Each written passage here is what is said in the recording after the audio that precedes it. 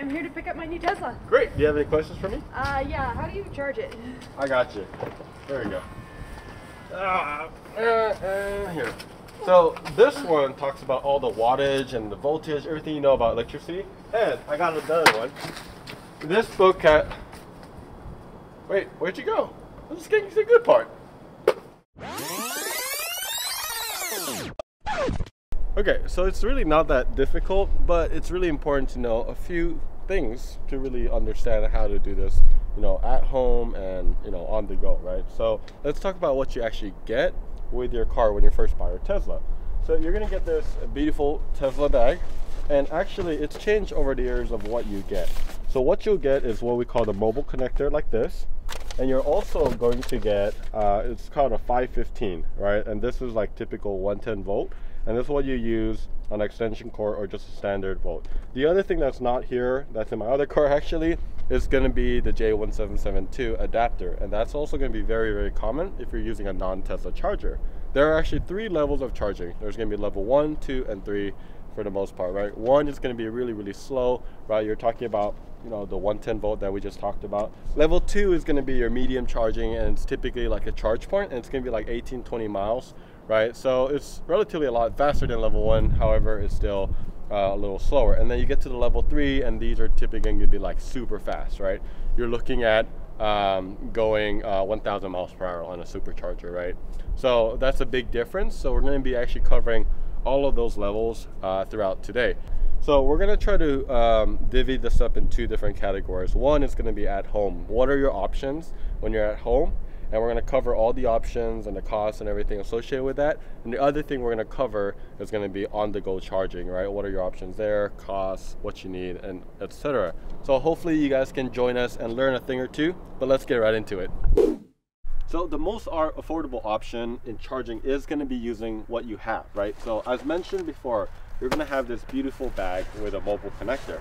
And in the mobile connector, you're to have two parts to it, right? So you have your adapters. This is called a 515 or 110 volt. And then you have the mobile connector. And the way it works is all you have to do is just connect it like that. And then obviously this one goes into the car and this goes into the outlet.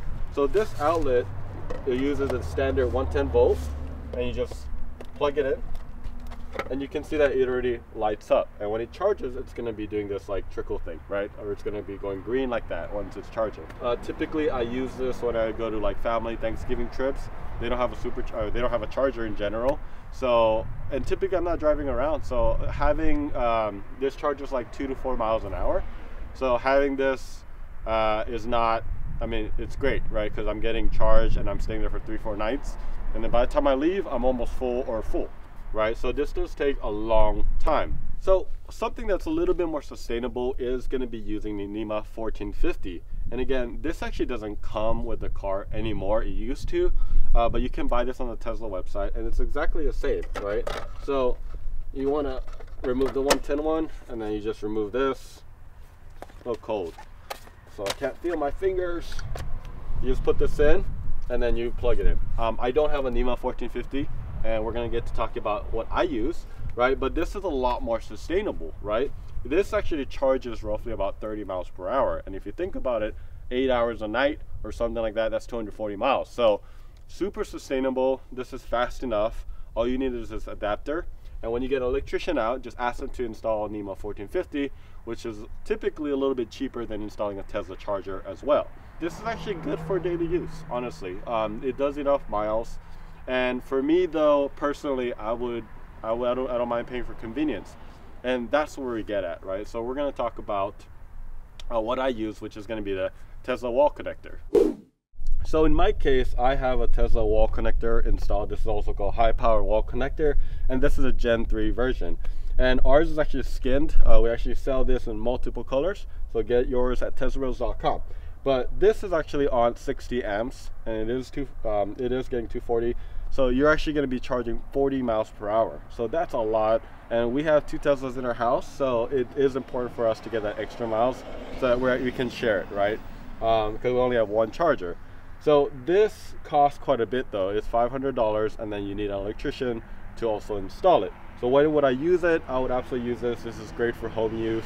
And on top of that, uh, the Gen 3 version also has wireless capability. So this connects to your Wi-Fi home network. And for businesses, you can actually schedule and also cut off if you want to for your neighbors, right? So this is really cool. Um, it's really, really easy to use. Once you install it, you just use the button just like the other one. And once you click on it, your charge port opens up and you just plug it in and very, very easy.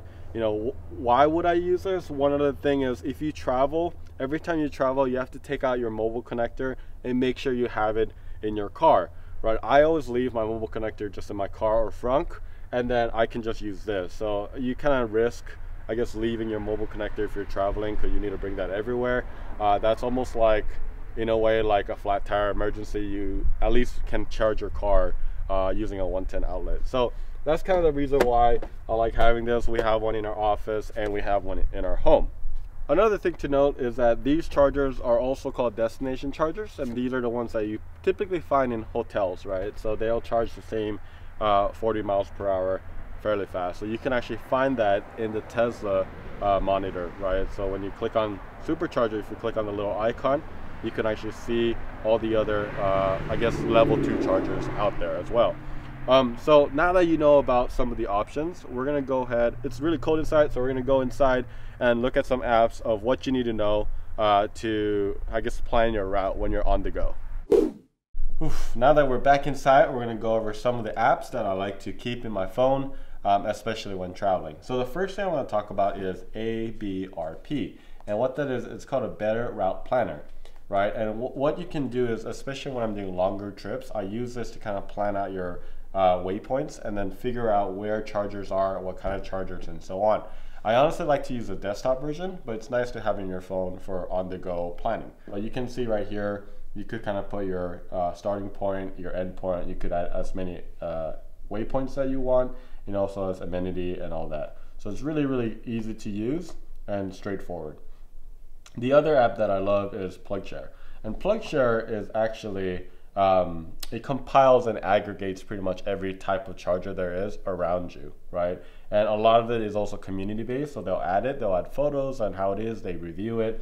But you can see around me over here, you can see that there is a elite airport parking and there is a Tesla charger. And you can kind of zoom in and click on it, click on the little eye, and it also has photos that people have uh, put. So it also gives you some amenities and um, like what there are, like I guess like restaurants and so on. For the supercharging and Tesla stuff, honestly, that's not what I use PlugShare for because your your car, your Tesla does a really good job of telling you which superstation to stop, and it also shows the destination, right? But it doesn't show up stuff like ChargePoints or EVgoes or Electrify America, right?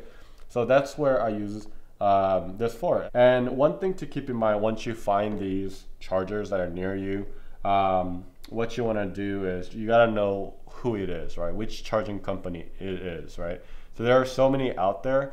Uh, and that's why Tesla charging is so convenient. You literally just push the button and you plug it in, right?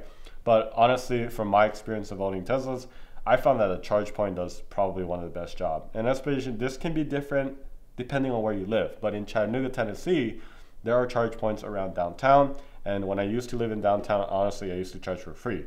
And the app is very, very easy to use. And it's just very simple. And uh, since it's free, it uses NFC. So I'm to go over that next. So we're at an EVgo charging unit, and this was actually a level three, or it can be a lot higher. And the way this works is you have to use an app. So again, like I said earlier in the PlugShare, you have to make sure that you have their app and you have to set it up before you even get there or else it could be a pretty bad experience when you're trying to, in the cold, trying to set it all up, right? So this one is actually what I typically use if I were to use it. This is CHAdeMO, and you need a big adapter. Um, I don't have it with me, but you pretty much connect it just like you did with a J1772, and then you connect it. And this particular one gets 50 kilowatts, uh, 50 kilowatts, right? So the other thing to keep in mind is they do pricing by uh, the minute, so it's about 35 cents uh, per minute. So um, it can actually quite get expensive, but if you need a quick charge in a pinch, it's nice to have an option that's a little bit faster than a level 2. You can see here that it also has a CCS combo, um, so it has different ones for other cars. So just to give you a perspective, this again is about 50 kilowatt, right? A supercharger is about 250. And in I guess speed, it's gonna be about two hours to charge your Tesla to a full charge. And if I'm being honest, I really haven't used this at all for the whole three years of my ownership. So we're gonna get right next to the next one.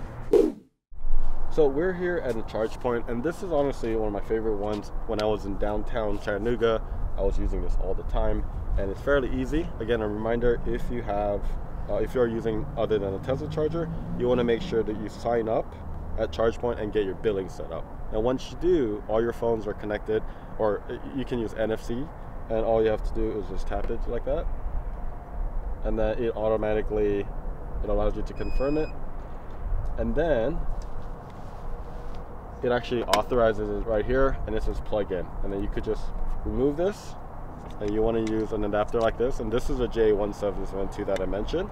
And one thing to keep in mind is because you just need to do this and um, anyone can really remove it uh, there's a 3d printed thing that I'm going to be putting down in the link below where you could put where it'll lock this right? So let's go ahead and um, open this up. And again just plug it in I, I plugged this in, uh, it's not working, and you can actually tell that it's not working if this doesn't turn green, right? So right now it's white, it doesn't actually recognize it. And one thing that I was worried about is if you look at this charger, I'm gonna unplug it. It's actually broken. This lever is supposed to be able to be pushed. And I read on the ChargePoint app and also the, the PlugShare app that this was vandalized and that it was broken. So it's very important to check those comments because it's community based before you come here. Unfortunately, I can't charge, and we're gonna go on to the next. So we're at the supercharger right now in Chattanooga, and if you are actually traveling, you should probably skip this one because it is loud. It's by the airport. It's weird getting in here. However, this is going to be the most common one that you're going to be using when you're traveling. And there's actually three types, right? Right, or out there really. There's going to be the Gen 2, which are going to be these, and the way you tell it is going to be the gauge of that, right? So these are going to be way thicker, and then the Gen 3 is going to be way thinner, right? So that's how I tell, at least. And then there's also going to be urban chargers, right? Urban chargers are typical like in Atlanta, and they're a lot, a little bit slower, but they're still level three. So they're a lot faster than your Gen 2, your ChargePoints, uh, and the ones at your home, right? However, those are really good because they, they can put a lot more, and it's just a lot uh, more efficient, right? For cities especially. So this is um, this charges specifically. This is Gen 2, so this goes about roughly about 600 miles an hour and then the newer one is impressively around like a thousand miles an hour, right? And this is uh, depending on your state of charge. It can go from 20 to typically 80% is going to be your optimal zone. If you're under that, it's going to be a little bit slower. And then once you get to the 80, we call that the slowdown rate, and it goes a lot slower, right? So typically I don't charge past that 80%. And the best thing about this is super easy. You don't need an adapter. It goes straight into the plug. And all you have to do is just go here, click on this, it opens up and it goes like that and you go in and you watch your Netflix. So really, really simple. You don't have to do any apps. And then the way it works is for charging and payment, uh, it's already linked to your Tesla account. So your payment just comes with a credit card that you already put on file. Uh, so very, very seamless experience. And then it'll, if you go to your Tesla account, you'll be able to tell how much you paid. But typically my average is going to be four to about $12 is how much I pay.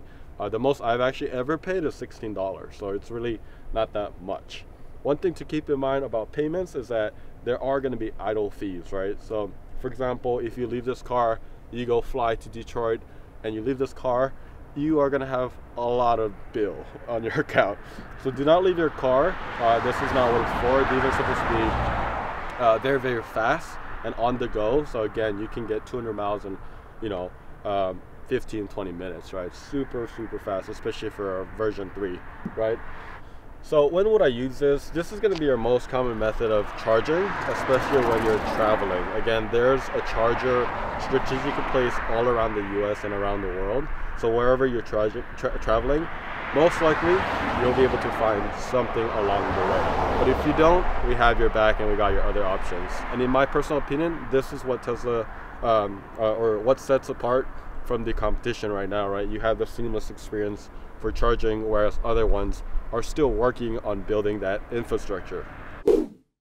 Hopefully that helped you guys cover a little bit basics of charging, but I'm gonna leave you with a few good tips, right? The first thing is your battery percentage will differ based on weather and terrain. So try to keep between that 20 to 80% charged. That's a very good recommendation.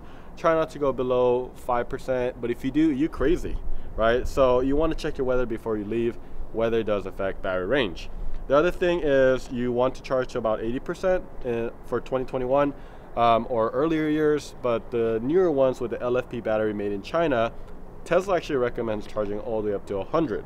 Well, that pretty much covers it. Um, hopefully that helped you guys understand charging uh, on your Tesla electric vehicles. If you have any questions, let us know and please help us out by subscribing. Until then, we'll see you next time. Stay charged.